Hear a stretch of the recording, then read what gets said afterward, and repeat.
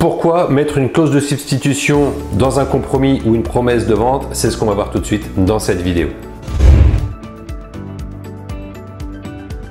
Bonjour, je suis Jérôme Yvon, votre coach immobilier. Si vous cherchez à investir dans l'immobilier en partant de zéro ou pas, bienvenue sur cette chaîne.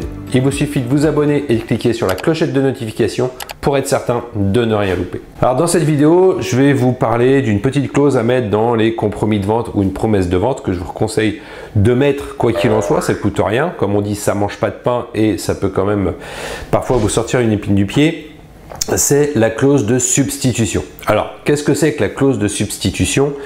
Euh, C'est une clause qui vous permet, entre la signature du compromis, bon, j'ai souvent parlé de compromis pour, la promesse de vente, c'est pareil, euh, lors de la signature du compromis, vous mettez une clause de substitution, c'est ce qui va vous permettre pour le moment de la vente de substituer la vente, c'est-à-dire que c'est quelqu'un d'autre qui va acheter le bien.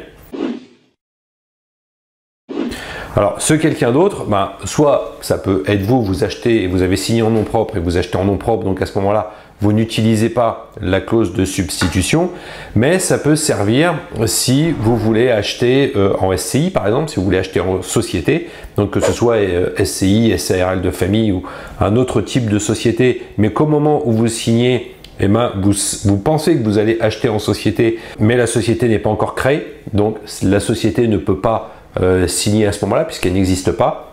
Donc vous signez là, vous signez le compromis avec une clause de substitution et au moment de la vente, ben, vous pourrez dire voilà la société est créée donc c'est pas moi qui achète, c'est la société qui va acheter.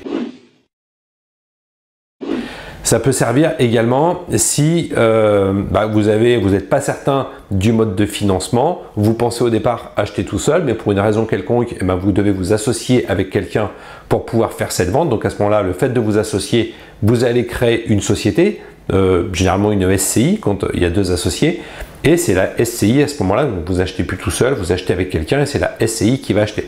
Donc là aussi, c'est l'intérêt de la clause de substitution. Donc ça, c'est quelque chose que vous pouvez mettre dans l'acte. Il suffit simplement de préciser à votre notaire que vous voulez qu'il y ait une clause de substitution euh, dans le compromis et euh, bah, il va simplement la rajouter dedans. Euh, c'est gratuit, ça ne vous coûte rien de plus, mais en cas de besoin, ça peut vous servir. Donc l'autre intérêt de la clause de substitution, ça va être là si vous avez déjà la société, mais vous savez que vous allez acheter en société. Donc il faut savoir que euh, quand vous achetez en société, euh, à ce moment-là vous êtes professionnel et vous n'avez pas de délai de rétractation. Le fait d'acheter en nom propre, vous avez le délai de rétractation de 10 jours. Et donc à ce moment-là, vous pouvez signer le compromis. Vous avez votre droit en tant que particulier à votre droit de rétractation de 10 jours. Et ensuite, bah, au moment de la signature de l'acte, même quand vous faites vos demandes de financement, etc., vous pouvez très bien dire, bah, allez voir votre courtier ou votre banquier vous dites, bah, là j'ai signé parce que je ne savais pas si j'allais acheter en nom propre ou si j'allais acheter en société, mais comme il y a la clause de substitution, je fais la demande de financement au nom de ma société. Et à ce moment-là, une fois que vous avez votre financement avec la société, il suffit simplement de prévenir votre notaire. Vous dites, ben voilà, je dois acheter euh, le bien avec ma société et pas en nom propre, donc je fais jouer la clause de substitution et là le notaire vous donnera simplement un document à remplir avec bah, les coordonnées de la société, enfin du, nouvel acheteur quoi. Il va mettre ça euh, dans le dossier et au moment de la vente, bah, c'est plus vous qui allez acheter, mais c'est la société que vous aurez créée ou que vous avez déjà euh, qui fera la vente.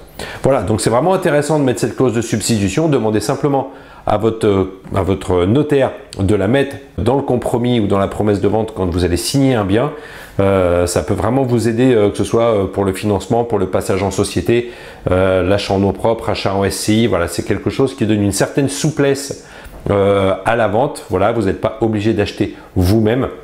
Et c'est quelque chose qui coûte rien, qui est souvent oublié. Et si vous ne le dites pas euh, au notaire, alors il y a certains notaires qui vont vous le mettre systématiquement, mais il y a certains notaires qui ne le mettent pas. Et si vous ne pensez pas à leur dire, bah, elle ne sera pas dedans. Et une fois qu'elle n'est pas dedans, il faut faire des avenants, tout ça, c'est beaucoup plus compliqué. Maintenant, n'oubliez pas, pour en savoir plus, vous avez toujours ici ma formation gratuite. Et n'oubliez pas de vous abonner là en dessous pour être au courant des prochaines vidéos. Allez, on se retrouve très bientôt en vidéo.